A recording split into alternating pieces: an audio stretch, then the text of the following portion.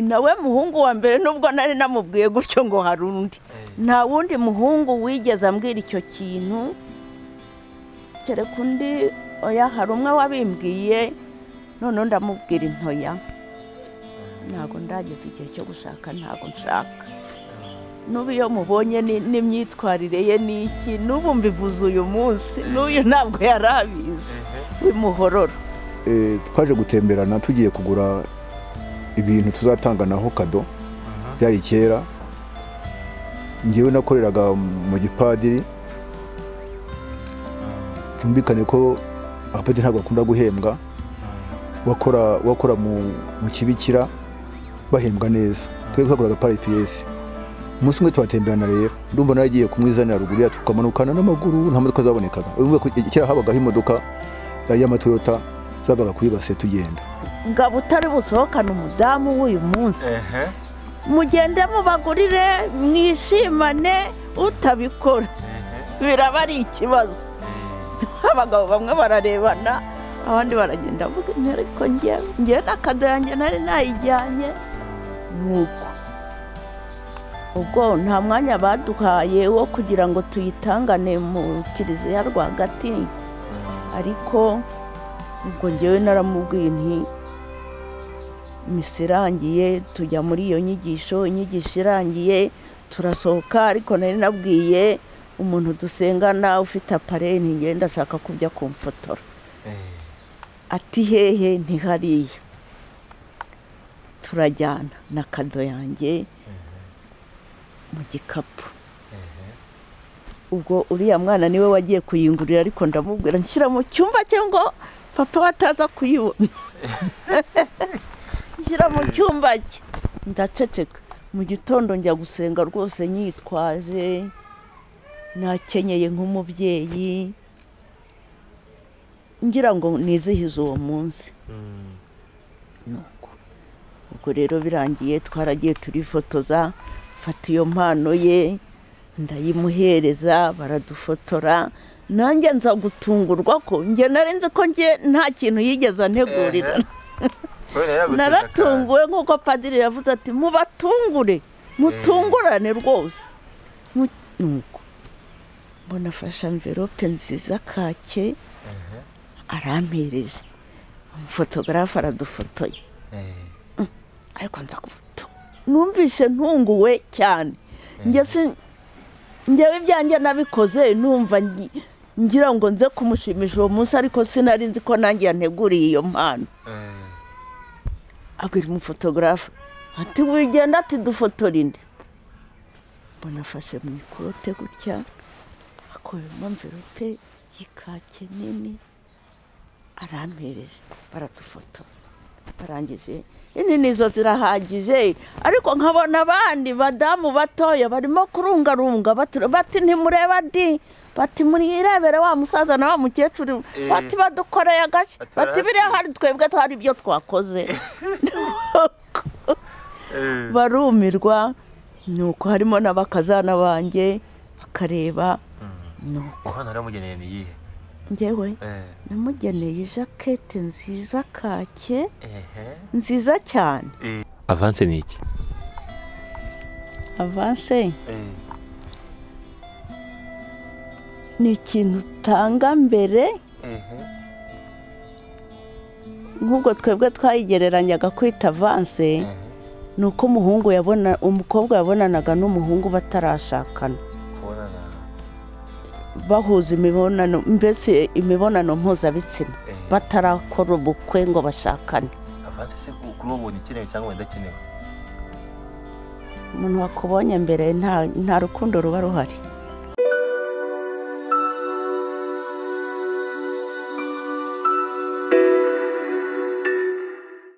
Igihumbi kimwe magana cyenda mirongo itanu n'icyenda. Ubu turi muri bibiri na makumyabiri na kabiri. Ubaze neza usanga ari imyaka mirongo itandatu n'itatu. Iyo myaka ifite cyinshi isobanuye. Kuri aba babyeyi batwicaye imbere murimo murareba imbere yanyu kuri sikirini zanyu. Ubuto bwanjye turi kumwe. Ubukumi bwanjye turi kumwe. Ndi umubyeyi turi kumwe. Nduzukuruje turi kumwe. Ayo ni amagambo.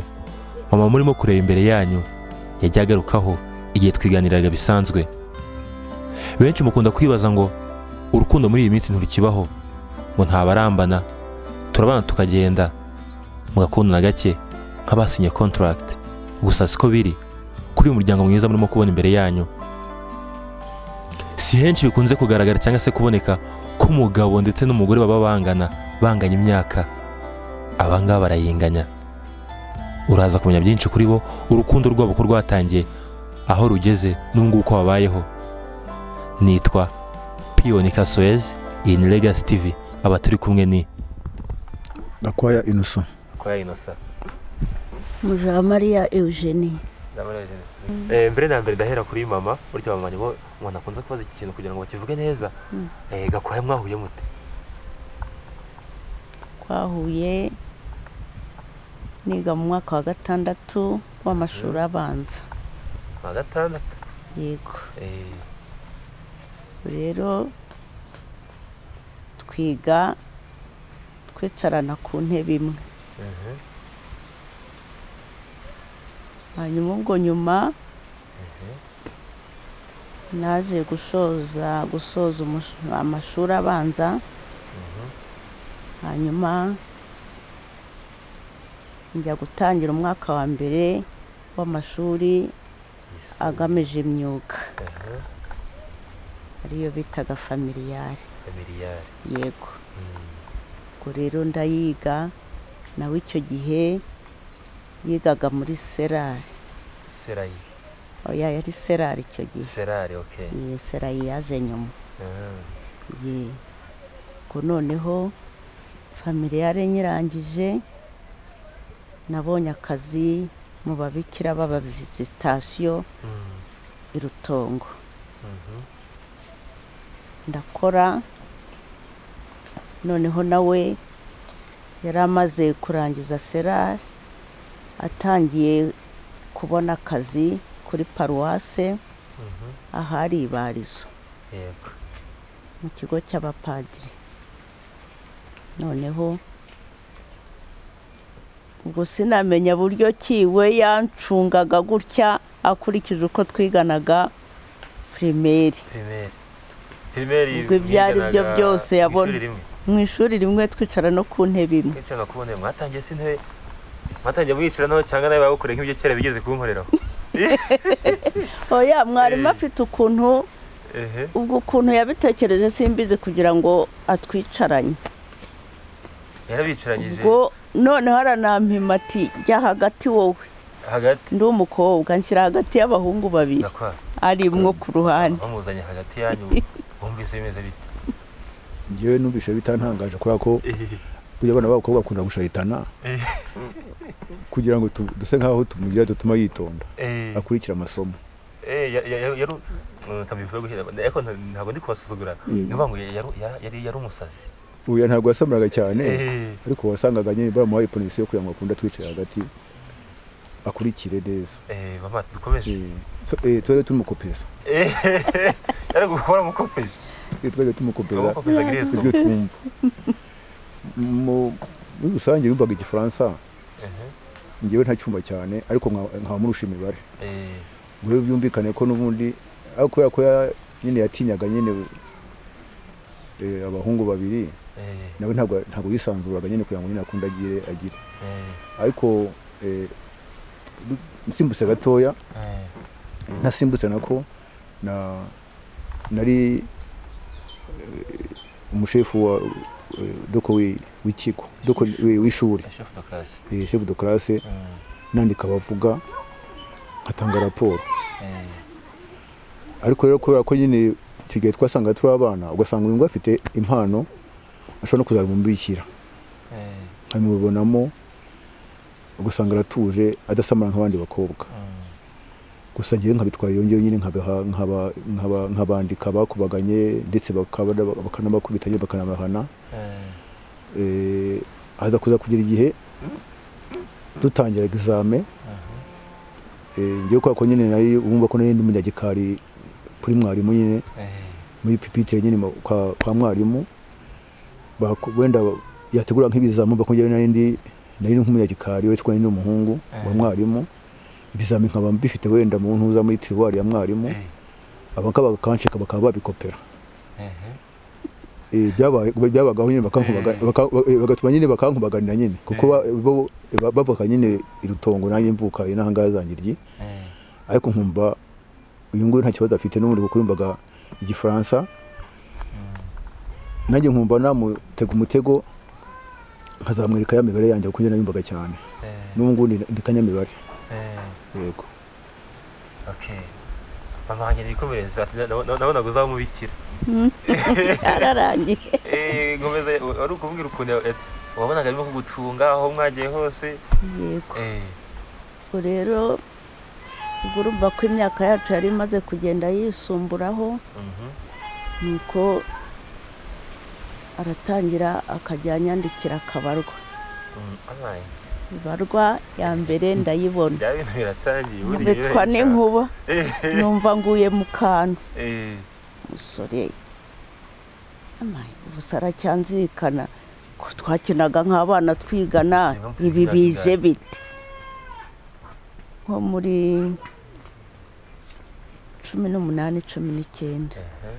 Kuko twashakanye muri mfite makumyabiri n'umwe. Eh, ubwo niyo twembi twari dufite. Mm, nuko ngwa mu kantu nabanaga n'abandi bakobwa twakoranaga mu kazi. Ariko ibarwa ndayibahisha nyumaho eh, ndasoma. Nasoma bati ninde ukwandikiye? Nkabahisha. Eh, nuko ubwo nyuma mhm.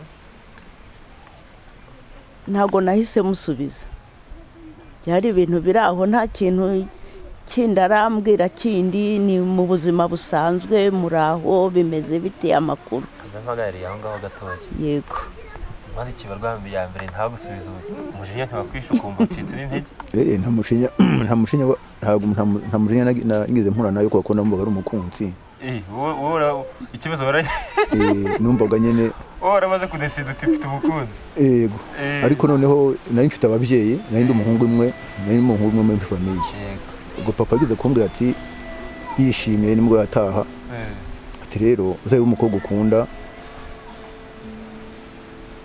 uzamuzane nawe abe umwana ahangaha mu rugo munabane.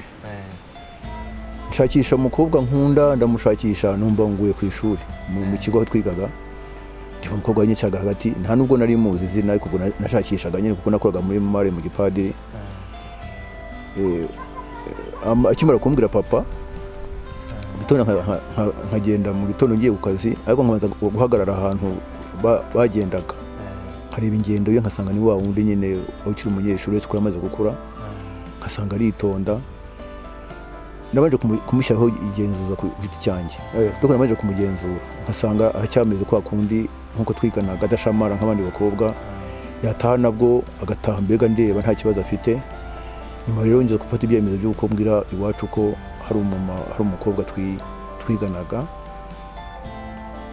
witwa kanaka ukwa kanaka ubwo ntangira gukora fiyansaye eh, ikosa nakoze rero ni uko njyewe namubwiye na- nahise mbega ubwo byageze hagati nza kumubwira ko ko nshaka ko tubana. Eh, kubera ubwitonzi bwe aranshuka ngo afite umuntu iwabo doko ngo hari umuntu iwabo bahaye igihe. Eh, hano hantu eh, ahashenguye umutima. Eh, akasura umukobwa ubwo ndi mu rugo kubwira kandi iwacu nababwiye ko nabonye umufiyanse ariko arambwira ati hari umuntu iwacu bahaye igihe. Eh, nkangumva ko byari umutego. Eh, nange ngeze mu rugo kirahabagaho baranga. Ndamu sa nkaho uyu nguyu umureka mba ko yakiri umwana mutoya kandi yararezwe ndeba umugabo witondaga na- nanjye wakoraga muri redemi hafi ya y'aba ngaba. Ndamubwira eh, ubwo mbwira papa aragenda aganira n'umusaza. Se w'uyu nguyu? Eh, nabyihutishije. Ndetse ubwacu bari batemye ibitoki. Kugira ngo ntange wa wundi bahaye igihe. Eh, eh, kugira ngo ntange wa- wundi bahaye igihe mutange. Umva ko byumvaga umva ko byari makuturanye njyewe numvaga njyewe wa- wa- wa- uw'iwabo bahaye igihe ntazi igihe bamuhaye. Kandi ngo ntigeze ansobanurira. Mm, ubwo ntumpe nshyiraho puresha mbega yo kubanza kureba umuranga umuranga ajyayo kera rero kera n'ubwo ubu ngubu n'ibi ngibi bisigaye bibaho kera ubundi bamaze kubaza ngo ariko se ngo umuhungu ni mwene nde ubwo babajije umuranga bati mwene nde bati umuhungu wa witwaga Shumba Papiyasi se w'iyo ngo yasanga azi azi papa wanjye eh, eh oh wa musaza witonda. Ati se umuhungu azitazitonda nka se? Eh, ariko nyine ubwo mbega byinjiye mu muryango noneho? Byinjiye mu muryango nzi wenda uyu nguyu wenda niba byaramutunguye nawe dushakisha ukuntu twatura inzoga. Kuko njyewe nta nta bantu benshi nkunda kubana nabo n'ubundi b'abasore eh, sinjye njya mu gakungu wenda njyane wenda wenda ngende mutungire agatoki ngiye birambagirije mvuga ngo nindamuka ajyanye undi musore azamuntwara. eh. Reka njye nigende njyenyine reka njye njyenyine nkicara mu rugo. Yego ngende njyenyine nkicara njyenyine wowe wenda bakande bakanganiriza nk'umukwe njyenyine bigeze hagati mbega mbona inzoga za eh, ariko sinzi ntasubiye inyuma. Twihutishaga kujyana kujyana y'inzoga kugira ngo dufate irembo. Ah, kuko kugira ngo batamutwara. Wa wundi bahagiye ntabwo nari muzi ah, ntabwo nashakaga no kumumenya. Yego. ubwo rero nagize amahirwe iwabo. Batanga- Barabyeyi. batanga karibo ku musaza nyine papa wanjye ubwo nyine arazamuha raporo. Yewe ibitoki hari bigomba kuba babisize hari ku idari. Okay. ko ko kubona n'undi umuhungu umwe bagomba kubyihutana kugira ngo wa, mugeni wacu atazaducika. Ah, ubwo rero tutangira turasaba ariko noneho nkagenda mucunga nyine ko ari wa wundi ni wa wundi wa wundi. Ubwo urumva ko nafashe irembo Eh, twafataga irembo ariko nyine ntitwongere kugira. Iyo ufashe irembo ubanza uratuza. Iyo bazinywe uhaye ababyeyi umutego ari aho uvuka ari n'aho ushaka umugeni. Iyo wafataga irembo nta wundi muntu wazaga byabaga birangiye. ngaruke kuri mama wanjye leta nkuzaho gakeya umbwiye ko agapapuro wanze kugasubiza yandika urundi rupapuro. Urupapuro yanditse ukaza kumusubiza rwavuga ngo iki? Ngewe ubwo urwa kabiri Eh, yambwiraga ko ankunda. Eh, noneho se arankunda mu ruhe rwego ko nanjye agatima kaza kuza ndavuga inti wenda arabitekerezaho yabitekerejeho nk'umuntu twiganye tukicara ku ntebe imwe. Ni buriya yabonye nta kibazo yigeze ambonaho kibi nuko ubwo kwirinda kumusubiza ngo yego ubwo bwa kabiri naramubwiye nti ni ukuzabaza ababyeyi barahari. Eh, yego. Ubwo rero urumva ko ari zo nzira yanyuze zo kubwira ababyeyi. Ubwo rero uwo muranga wandanze nawe namugarukaho. Yari umusaza mwiza cyane. Mm, kugira ngo andange rero ndangiza familiyare nyine ubwo ababyeyi badukoreye umunsi mukuru mutoya. Uwo muranga aza guca munsi y'iwacu mu muhanda habona hari umuntu mperekeje ati bite bana banjye nti tuti ni byiza. Ati se muhira hari iki? Ariko icyo ari cyo cyose kirahari. Eh, ati ubu nje mwame ni nta kibazo.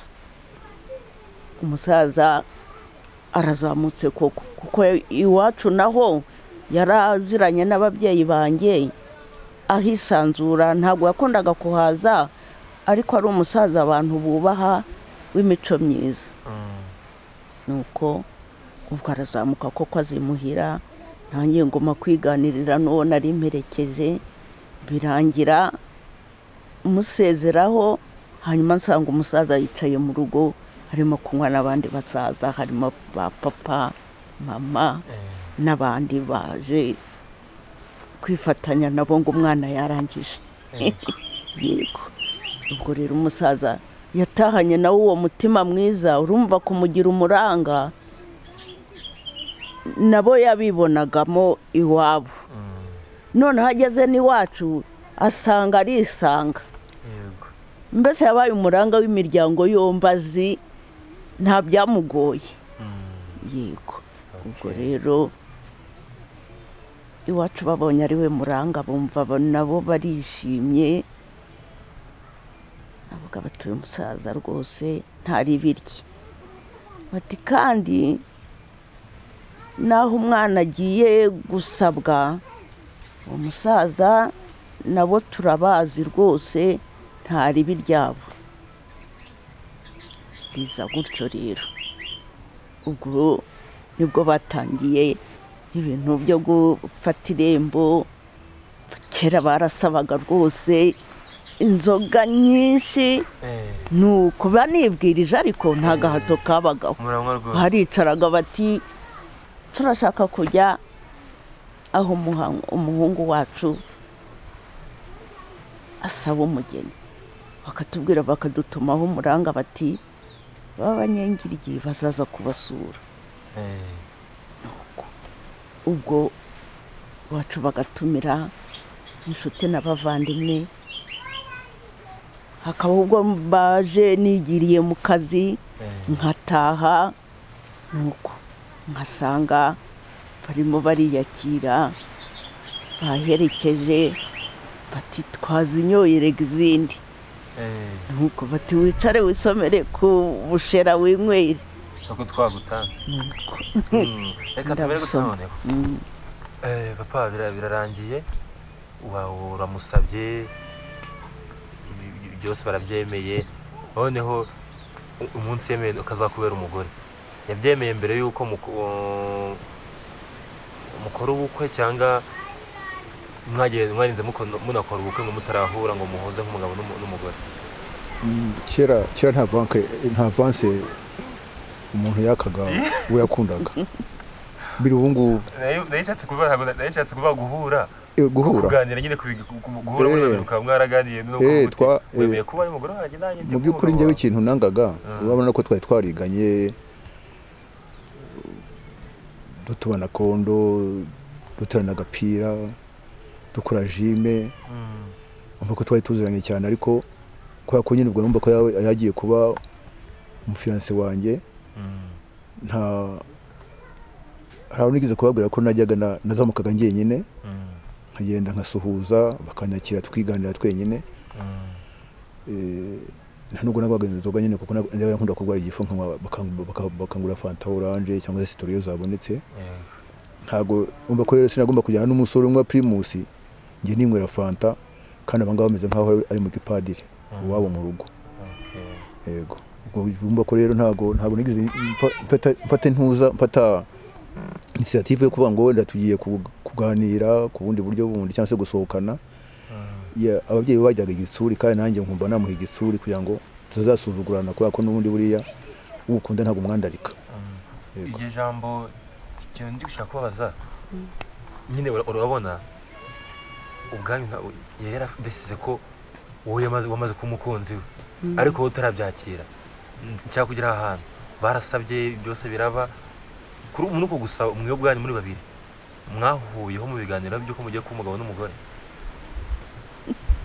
N'ubundi wabonaga nta kindi bigamije. Eh, bumvaga ariyo nzira n'ubundi intangiriro ariyo nzira mutangiye. Mwarahuye mwarahuye ikintu nshaka niba hari ikintu nshaka kugeraho? Eh, mwarahuye ubwo nyuma yaho Eh, twajyaga duhura nkasanga noneho nava mu kazi nkasanga yantegeye mu kayira ahantu eh, kagana iwacu eh, tugahura. Noneho hari umukobwa mukuru wanjye wo kwa data wacu twakundaga gutahana. Eh, akabona bimubereye imbogamizi zo kugira ngo tuganire. Eh, n'umwana w'umukobwa kera twebwe twararindanaga rwose akavuga ati uyu muntu bahuye gute? Nuko kwibwiriza gutaha ngo ansige akabona ni ikibazo. Uyu nawe agasigarana ibibazo akadusezeraho yumva ko tudakoranye ikiganiro cyacu wa babiri Eh. kubera uwo mukuru wanjye. Nuko ariko ubwo agapanga noneho umunsi wo kuza imuhira twe twembi tukavugana tukaganira noneho byisanzuye. Noneho visa cyangwa se face to face igihe muba mwicaranye akubwira ko agukunda. Mhm. hari ryari? Akahise kava ku mutima wawe ni akahe? Mbese ubwo Eh. ngewe na papa we azimuhira. No kugira ngo batangire bature inzoga. Naratashye mvuye mu kazi noneho murumuna wanjye wangwaga mu ntege ahita ambwira ngo uzi ko hano haje umusaza? Ngo w'inzobe? Ngo mugufi? Ni umusaza se woye ehe ngo hari amagambo yabwiye papa. Ngo umuhungu we ngo mwarakundanye ngo ubwo nta kundi ngo ubwo ngo bagiye kuza gusaba? Numva umu- umu- umusatsi unyorosotse ku mutwe. Numva ubwoba bunjemo. Cyakora ndamwihorera. Ndavuga ubwo ni uko byagenze nta kundi. Ubwo rero kubera ko nyine uwo muranga twamwisanzuragaho kandi noneho atubwira amakuru y'iwabo ko nta bibazo noneho hari n'umukobwa twakoranaga baturanye atuye hano hepfo tukaba inshuti cyane.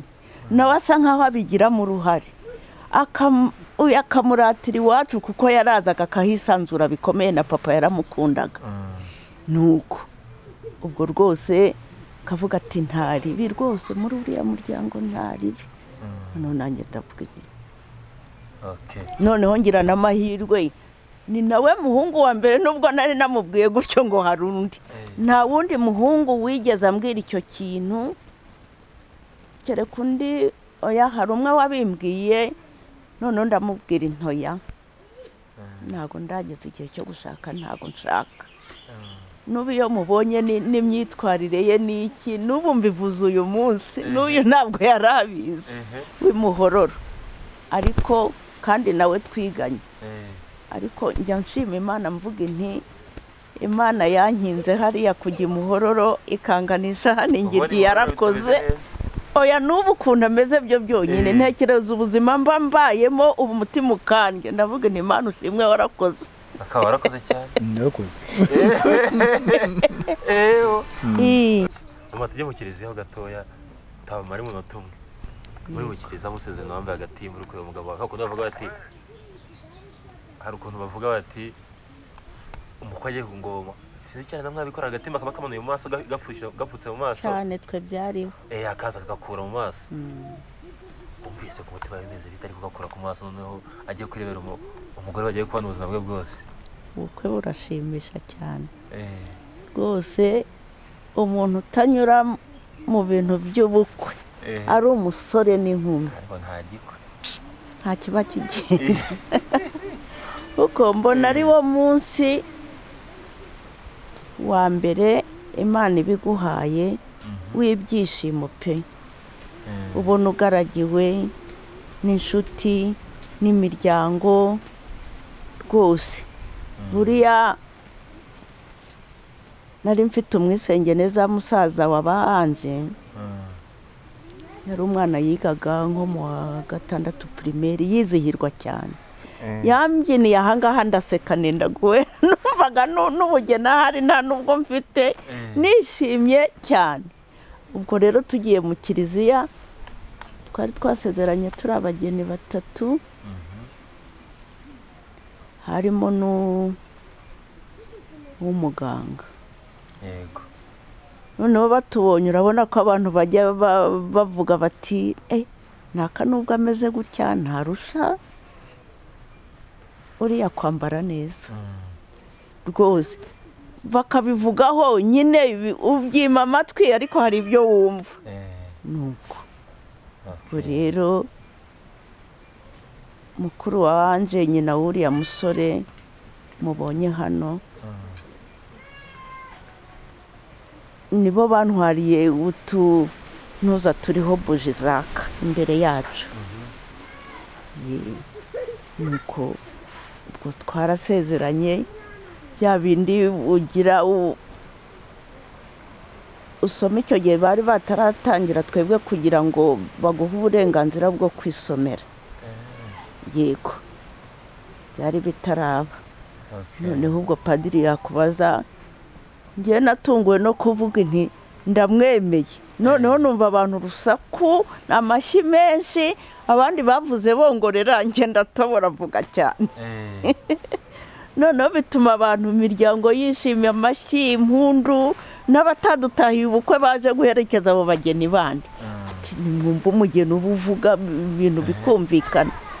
Bataramwemeye nyine nuko nta kundi we abivuze no kumugaragara abantu bose babyumva. Ubu ngubu iyo- iyo awukora ikintu ukishima iyo ushatse kumushimisha ukumukorera iki iyo nshatse kumushimisha se ubwo nahera nko kuri uriya munsi mukuru wa Saint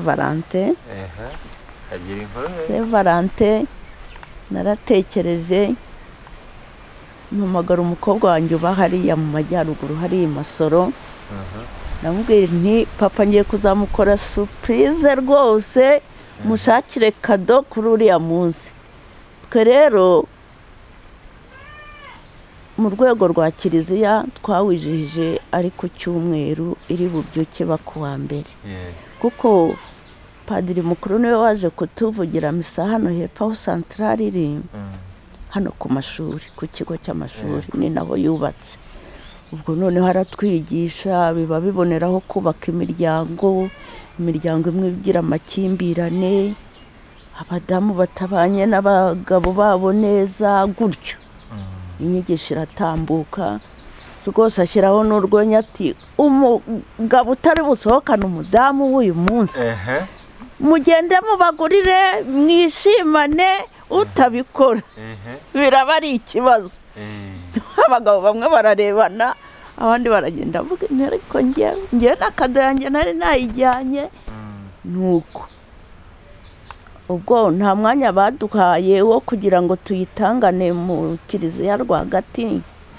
Ariko ubwo njyewe naramubwiye nti misa irangiye tujya muri iyo nyigisho inyigisho irangiye turasohoka. Ariko nari nabwiye umuntu dusengana ufite apareni ngenda ashaka kujya kumfotora. Ati hehe ntihariya turajyana na kado yanjye mu gikapu. Ubwo uriya mwana ni we wagiye kuyingurira ariko ndamubwira nshyira mu cyumba cye ngo papa we ataza kuyibona. Nshyira mu cyumba cye. Ndaceceka. Mu gitondo njya gusenga rwose nyitwaje nakenyeye nk'umubyeyi. Ngira ngo nizihize uwo munsi. Nuko. Ubwo rero birangiye twaragiye turifotoza fata iyo mpano ye ndayimuhereza baradufotora nanjye nza gutungurwa ko njye nari nzi ko njye nta kintu yigeze antegurira. Naratunguwe nk'uko padiri yavuze ati mubatungure mutungurane rwose. Mbona afashe amverope nziza kake arampereje. Umufotogarafe aradufotoye. Ariko nza kufoto numvise ntunguwe cyane. Si- njyewe ibyanjye nabikoze numva ngi- ngira ngo nze kumushimisha uwo munsi ariko sinari nzi ko nanjye yanteguriye iyo mpano. Abwira umufotogarafe ati wigenda ati dufotore indi mbona afashe mu ikote gutya akuyemo mverope y'ikake nini arampereje baradufotora barangije inini zo zirahagije. Ariko nkabona abandi badamu batoya barimo kurungarunga bati ntimureba di bati murirebere wa musaza na wa mukecuru. Eh. bati badukoreye agashya Ati bati biriya hari twebwe twari ibyo twakoze. Barumirwa nuko harimo n'abakazana banjye bakareba nuko. Impano yaramugeneye ni iyihe? Njyewe? Eh, namugeneye ijakete nziza kake. Nziza cyane. Eh, rwose umwana arambwira ati natanze makumyabiri na bitanu. Eh, nta kibazo. Rwose. Nuko. Nuko rwose nza kumubaza ahubwo nyuma ese yagukwiriye Mm. ati cyane ashyiramo mbona rwose nanjye ndishimye noneho. Eh, yego. Ubwo nawe muri iyo bahasha nagize amatsiko nageze hano nanjye ndafungura rwose nanjye ndebe ngewe icyo namuhaye nakibonye ariko nanjye reka ndebe ikintu yanshyiriye muri ino amverope mm. ndebye nsangamo ibihumbi birindwi Kari, Eh, ibihumbi birindwi ko ari byinjira eh, ntabwo natekereje kuri iyo jakete ya menze numvise ntunguwe n'ibyo bihumbi birindwi yampfunyikiye mu ibahasha rwose. Nanjye biranshimisha cyane. Ndavuga nti nzaheraho nyongere ngura ikanzu nziza numva nshaka. Eh, ndanamubwira intu mperekeze tujyane i kigali. Hari ikanzu nabonye nshaka kugura. Arandobera abadamu bamanura bati ni iyihe? Ni nkunda ubururu. Bati uratwara ubu rero. Rwose nawe aravuga ati nta kibazo. Ni uko papa ujya umutekera se Hmm? ujya umutekera Eh, kubera ko uriya mwana arangije iniverisite Eh. mu musanze ntabwo aha- ntabwo akunda kuhaba. Eh nkowe nyine ariko hari ujya ujya ujya umutunguruka namutekera nawe? Njya akunda kumutekera icyayi. Icyayi? Eh, okay iyo nshyizemo iyo iyo ntetse umuceri ntabwo bikunda. Eh. Nta gushya. Cyangwa ukawutebesha oya nta gushya. Urapfuba. Eh. Amazi aba make. ufite ubuhanga bwinshi mu guteka iyo ngiye ku musozo ngira ikintu bita challenge nkwaza ibibazo bitatu buri wese akansubiza ako si ukubabaza wowe nta gifaransa wari uzi cyane ni ho ndaheraho uransubiramo ngo un sachet sachet chassé chassé ça son chien un sachet sachet sachet un sachet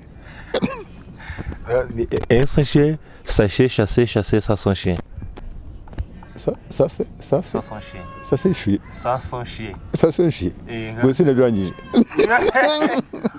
nga bifatanye bifatanye ngo sa urafatanye ndatsindwa uratsinda mama uramvugira ngo tout ce que je sais c'est que je sais que je ne sais rien. Tout? tout ce que je sais c'est que je sais que je ne sais rien. Tusoke ensubiriramo tout ce que je sais c'est que je sais que je ne sais rien. Ndabisubiramo bitanditse ra gerageza gerageza. Gerageza rwose. Ongera rimwe.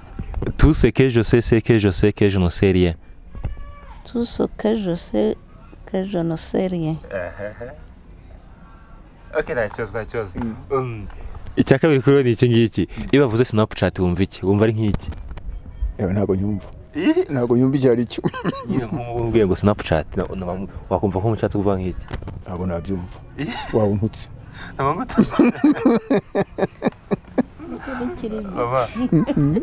iyo bavuze tubita nk'umubwiye ngo tubita wa- wa- wakumva nk'ubwiye nk'iki?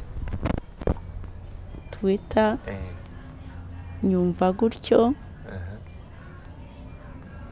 Ariko sinashobora ubusobanuro bwayo. Eh, twita ndayumva. Numva bayivuga gutyo oya numva babivuze gutyo. Eh. ariko kubisobanura oya. Yego. papa. Ah, amerika. Iri kuwe mugabane?